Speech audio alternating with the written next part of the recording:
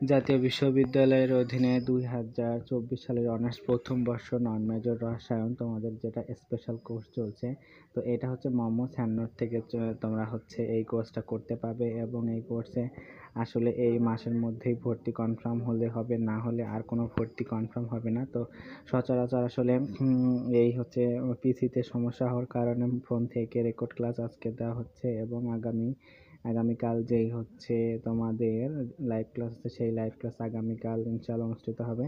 তো আজকে হচ্ছে পাঁচ অধ্যায়। কত হবে? পাঁচ অধ্যায়। এখানে হচ্ছে জারণ, বিজারণ।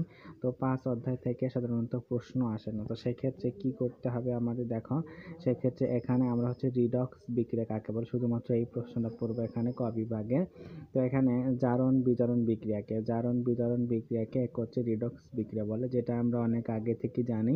রেড শব্দটি রিডাকশন অর্থাৎ বিজারণ এবং ওএক্স অর্থাৎ এসছে। ওএক্স এসছে অক্সিডেশন অক্সিডেশন সংখ্যা থেকে বা শব্দটি থেকে যা- জারণ এসছে। তাহলে এখানে কি? দেখো প্রথমে যদি তুমি একটু গ্রাম মনে না থাকে, তাহলে কি জারণ বিজারণ বিক্রিয়াকে হচ্ছে কি বলে? রিডক্স বিক্রিয়া বলে। রেড শব্দটি রিডাকশন থেকে এসেছে এবং ওএক্স এসেছে কি থেকে?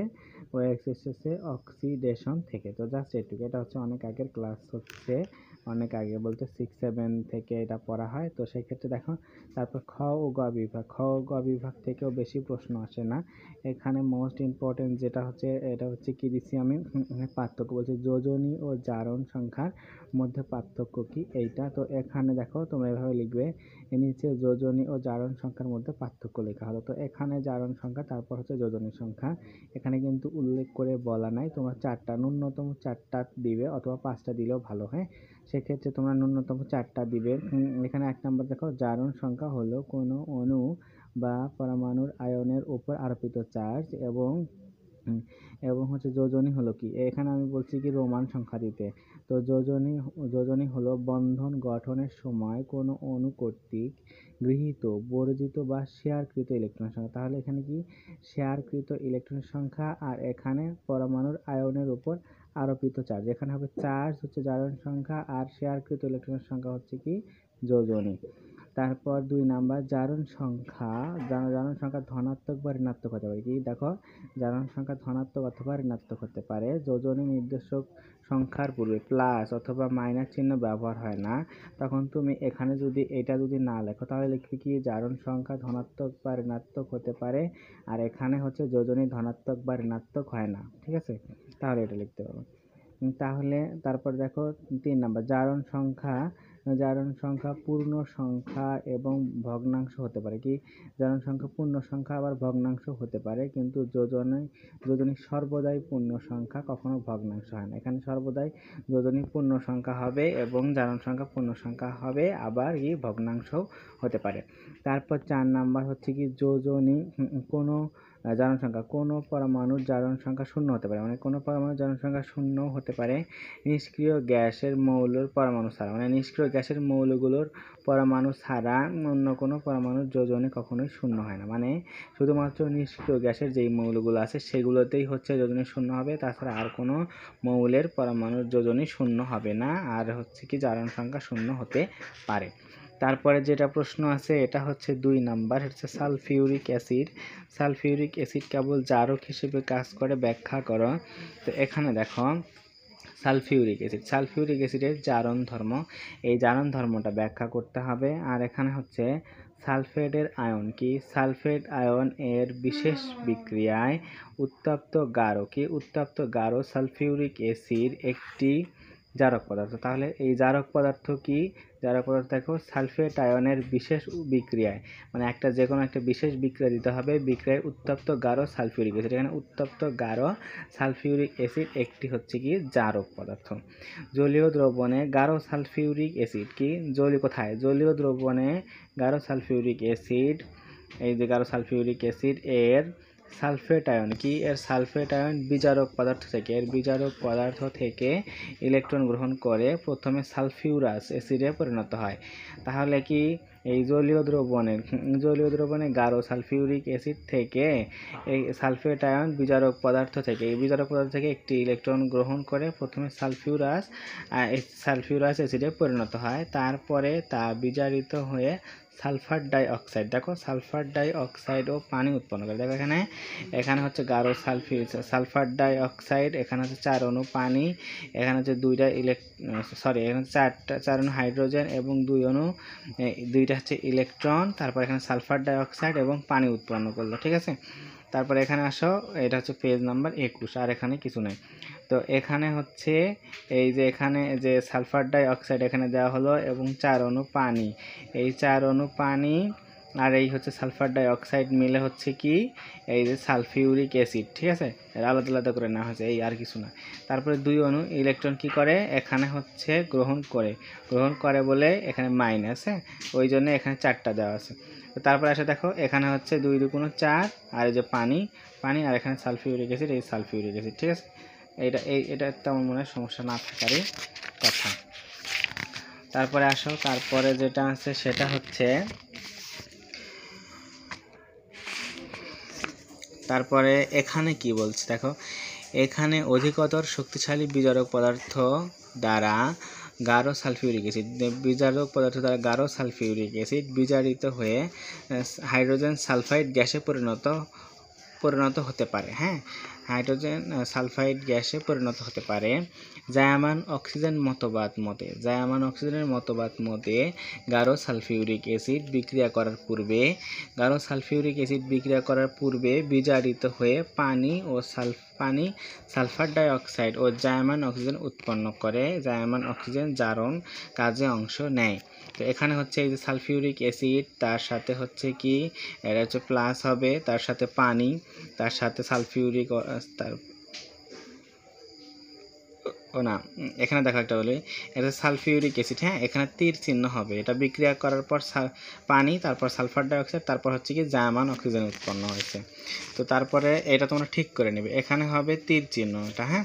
তারপরে গারো সালফিউরিক অ্যাসিডের পরিবর্তে কি? গারো সালফিউরিক অ্যাসিডের জারণ ধর্ম। জারণ ধর্ম ধাতুর সাথে ক্রিয়া যদি করে, তাহলে কি? উত্তপ্ত, কপার উত্তপ্ত গারো। কপারে উত্তপ্ত গারো সালফিউরিক অ্যাসিড বিজারিত হয়ে কপার অক্সাইড পানি কি? কপার উত্তপ্ত গারো সালফিউরিক অ্যাসিড দ্বারা জারিত হয়ে কপার অক্সাইড কপার অক্সাইড পানি সালফার ডাই অক্সাইডে, সালফার ডাই অক্সাইড গ্যাসে পরিণত হয়। পরে ক্ষারীয় পরে ক্ষারীয় কপার অক্সাইড অধিক সালফার ডাই অক্সাইডের সাথে বিক্রিয়া করে কপার সালফেট ও পানি উৎপন্ন করে। কি করে? কপার সালফেট এবং পানি উৎপন্ন করে। কার সাথে? এই ক্ষারীয় কপার অক্সাইড অধিক সালফিউরিক অ্যাসিডের সাথে বিক্রিয়া করে কপার সালফেট ও পানি উৎপন্ন করে। তাহলে প্রথমটা একটু আসো। এটা হচ্ছে সালফিউরিক অ্যাসিড এটা সালফিউরিক অ্যাসিড এটা কিন্তু তীর চিহ্ন হবে। এটা সালফিউরিক অ্যাসিড উত্তপ্ত গাঢ় সালফিউরিক অ্যাসিড এটা। তার সাথে এটা জারিত হয়ে কি হবে? পানি, কপার পানি, সালফার ডাই অক্সাইড এবং জায়ামান অক্সিজেন, সেটাই যে প্রথমে প্রথমে যেটা পড়ছি সেইটা হচ্ছে এখানে। তারপরে এই যে এটা হচ্ছে কপার। দেখো, উত্তপ্ত গাঢ় সালফিউরিক অ্যাসিড জারিত হয়ে কপার অক্সাইড, পানি। দেখো, এটা হচ্ছে কপার অক্সাইড, পানি এবং জায়ামান অক্সিজেন উৎপন্ন করবে, ঠিক আছে? তো এখানে কপার অক্সাইড এই যে কপার অক্সাইড তারপরে দেখো এই যে পানি, এই যে কপার সালফেট তারপর হচ্ছে সালফিউরিক অ্যাসিড এই এই দুইটা এখন আমাদের কাজ হচ্ছে কি? এই দুইটা যোগ করব। এই যে কপার দেখো কপার এবং জায়মান অক্সিজেন ঠিক আছে? তারপরে তো গ্লাসিং তো এখানে আসার পর এইটা হচ্ছে আমরা যোগ করব। কপার তারপরে এই যে কপার অক্সাইড যা সালফিউরিক অ্যাসিড তারপরে কপার সালফেট এবং হচ্ছে পানি। এই তিনটা এখন আমরা যোগ করে দেখো কপার তারপর হচ্ছে দুই অণু সালফিউরিক অ্যাসিড, তারপর এখানে হচ্ছে কপার সালফেট এবং সালফার ডাইঅক্সাইড এবং পানি। এই বিক্রিয়াটা আমি আবার পরে বুঝাবো, সমস্যা নাই। তো এখানে দেখো, তাহলে আরেকবার একটু বোঝাই। প্রথমটা হচ্ছে কি, এই বিক্রিয়াটা হচ্ছে কোথায়? এই যে এইটা হ্যাঁ? তারপরে কপার আর হচ্ছে জায়মান অক্সিজেন। কপার এবং জায়মান অক্সিজেন তাহলে দেখো, এই যে জায়মান অক্সিজেন অংশ নেয়। এখানে আবার বলছি কি, কপার উত্তপ্ত গাঢ় সালফিউরিক অ্যাসিড জারিত হয়ে কপার অক্সাইড পানি, কপার অক্সাইড পানি সালফার ডাই গ্যাসে পরিণত হয়। পরে ক্ষারীয় কপার অক্সাইড অধিক সালফিউরিক অ্যাসিডের সাথে বিক্রিয়া করে কপার সালফেট ও পানি উৎপন্ন করে। দেখো, এই যে কপার সালফেট ও পানি উৎপন্ন করে। কার কার সাথে কার সাথে বিক্রিয়া করে? কপার অক্সাইড বিক্রিয়া করে। ওই যে এখানে দেখো, ভালো করে দেখো হ্যাঁ? এখানে বলছে কপার অক্সাইড এই যে কপার অক্সাইড আর এই যে এই যে হচ্ছে অধিক অধিক হচ্ছে সালফিউরিক অ্যাসিডের সাথে বিক্রিয়া করে। কপার সালফেট এবং পানি উৎপন্ন করে এবং কপার সালফেট জার্মান অক্সিজেনটা থাকল।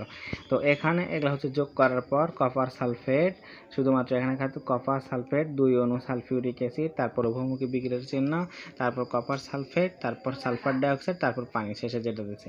তাতে বিক্রিয়া করে কপার সালফেট ও পানি উৎপন্ন করে, তারপর দেখো কপার সালফেট এটা এটা করার পর কি হলো? কপার সালফেট তারপর সালফার ডাইঅক্সাইড তারপর দুই অণু পানি। এখানে এক অণু পানি, এই যে এখানে এক অণু পানি, এই যে দুই অণু পানি, এখানে সালফার ডাইঅক্সাইড যে সালফার ডাইঅক্সাইড ছিল, সেই সালফার ডাইঅক্সাইড এখানে এখানে সালফিউরিক অ্যাসিড, এখানে কপার সালফেট, এখানে হচ্ছে কপার সালফেট, আর এখানে যে তোমার এই যে, এখানে যে সালফিউ এখানে সালফেট দুইটা ছিল, এখানে সালফেট দুইটা ছিল, সেই দুইটা এখানে আসছে। তাহলে এখানে একটা ছিল, এই যে এখানে একটা দুইটা, তারপরে এখানে দেখো কপার সালফেট হয়ে গেছে।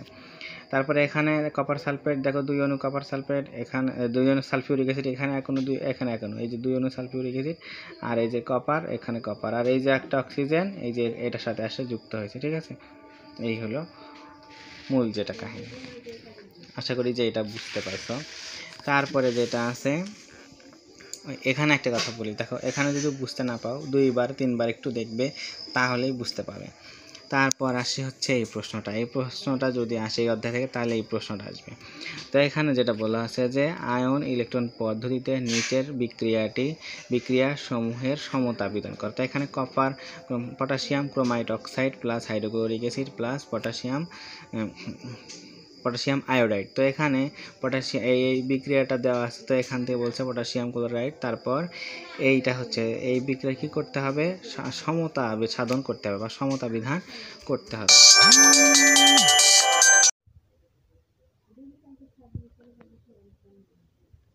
তো হচ্ছে এখানে যেটা ছিল যে, জারণ, এখানে উত্তরটা যে জারক, এখানে হচ্ছে জারকটা হচ্ছে কি? দেখো, পটাশিয়াম ক্রোমাইট অক্সাইড এবং বিজারক হচ্ছে কি?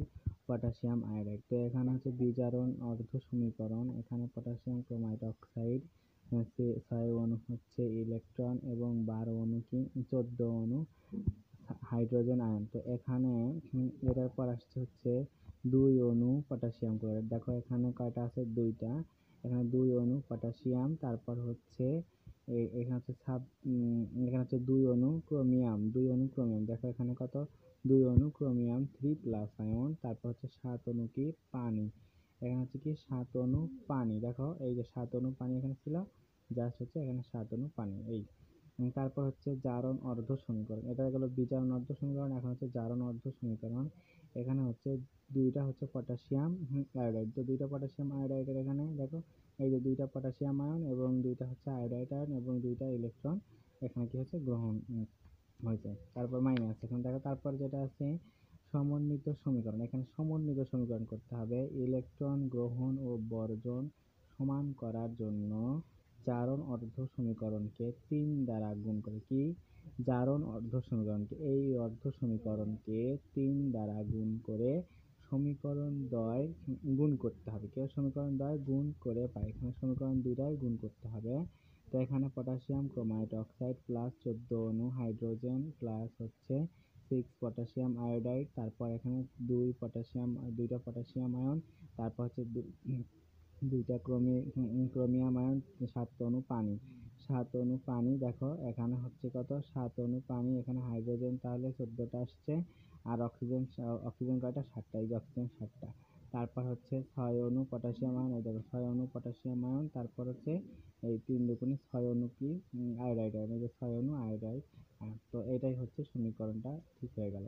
তারপর হচ্ছে পূর্ণ সমীকরণ, ব্যবহৃত অ্যাসিড ব্যবহৃত করে। দেখো হাইড্রোক্লোরিক হওয়ায় প্রয়োজনীয় সমীকরণ, প্রয়োজনীয় ক্লোরিন আয়ন সরবরাহ করে সমীকরণটি পূর্ণ করা হয়। এখানে কি?